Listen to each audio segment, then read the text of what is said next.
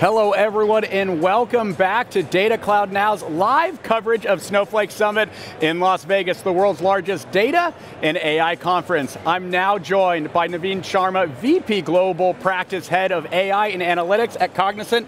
Naveen, such a pleasure to have you on the program today. fantastic to be here. We love the energy in the show, love the fact that this is, to your point, becoming the largest data and analytics go-to place for everyone, so Great to be here. You know, the buzz is all around us, but I want to dive into Cognizant. You are engineering modern business to improve everyday lives. What trends are you noticing and what's top of mind for your customers, Naveen? Yeah, so, so we work with the Global 2000, and you know, there's an interesting, uh, there's an interesting opportunity that the current uh, market forces present. You know, you see the overall macroeconomic slowdown, right. but then there's also the excitement and the energy that Gen AI, Chat GPT, all of these things have leaked into the marketplace. So on one hand, we've got customers that are saying, you know, how do I do more with less? But then there's also a big push towards experimenting more and trying to do things that have never been done before. And to make it even more fun, there's also a little bit of uncertainty, right? So playing with Gen AI, large language models, it's almost like playing with this new toy that no one ever had. And I'm like, well, this is fun, but am I going to hurt myself with this? So all of those things are going on. I think that's fascinating what's happening with the market. But bigger picture, I think our clients are realizing um, there is a, a, certain imperative of getting data right. Right. And if you don't get the data foundation and the data that you have within your enterprise right, the experiences you provide to your clients, your employees, to your other stakeholders, the speed with which you can act, none of those are going to give you a competitive edge. So I think clients are finally buying into the data imperative. That's a big thing.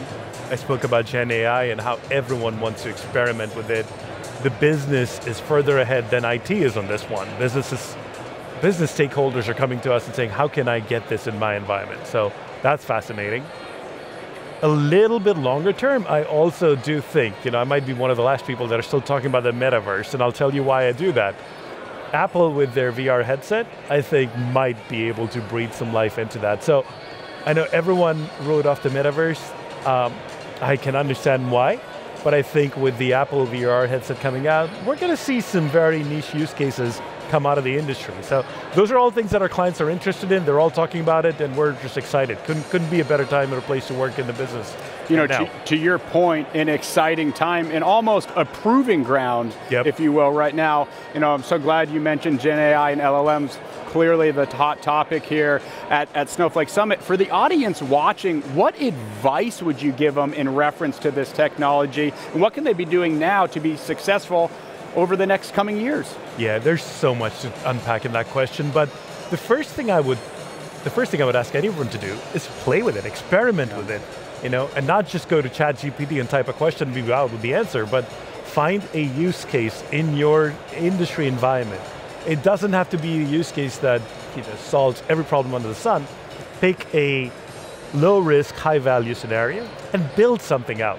And just that exercise, going through that motion of building something out, will get you so much more comfortable, will get you such a better sense of how to deploy Gen AI with meaning in your enterprise.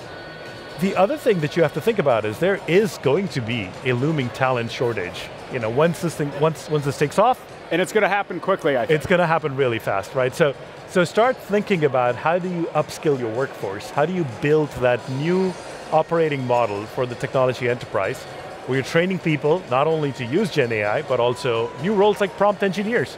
How do you get people to build careers in that space? The last thing I would say is, you know, this is tomorrow's technology. Right you can't necessarily look for use cases in today's business with tomorrow's technology. So you are going to have to think creative. Think a little bit about what this can do for problems that we may not have traditionally focused on. So a little bit of a keep the faith and just lean in heavy on this. this is going to be here for a while. It's going to be meaningful and it's going to be exciting. You know, exciting indeed great to have your perspective on Gen AI and LLMs because it's clearly the hot topic yep. for, for everyone across the board.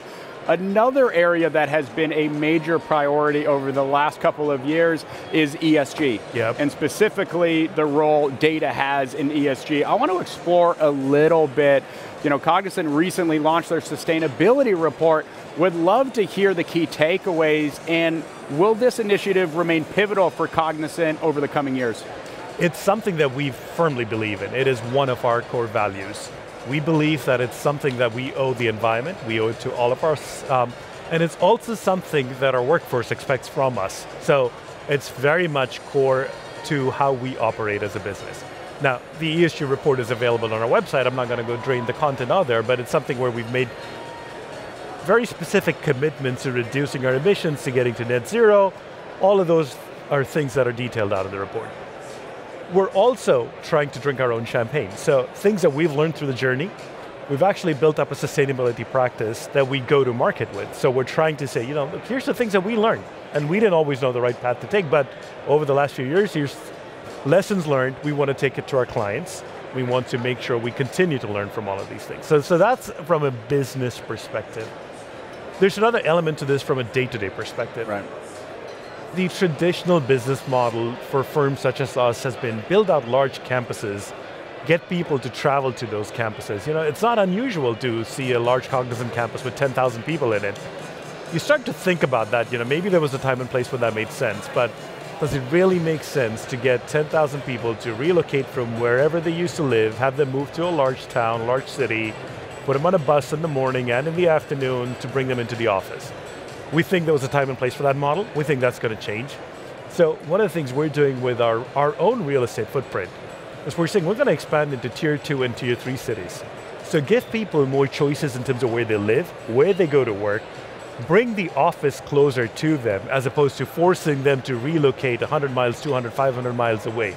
So we think those are all things that we can do as responsible citizens, corporate citizens, drive the Cognizant agenda forward, be good to the environment, be good to the planet, and then also make a meaningful business out of it. You know, it's great to hear how you're adapting everything you do, not only for your customers, but also your employees as yep. well. Because to your point, I think when you do both, the dividends for, for long-term you know, payout.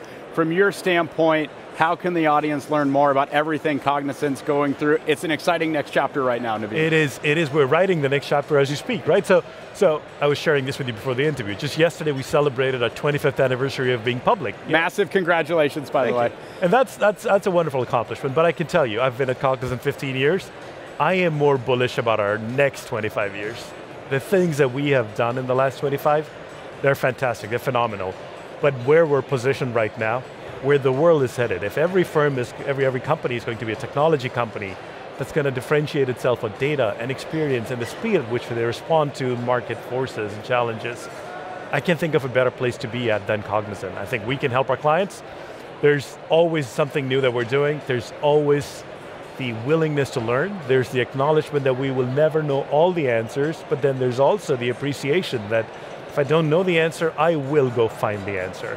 So all of those things together, I think make it a fantastic place to be and uh, very excited about the future. Well, congratulations on the anniversary. It's been an absolute pleasure having you on Data Cloud Now. Thank you. And for the audience watching, I'm Ryan Green. We'll see you soon.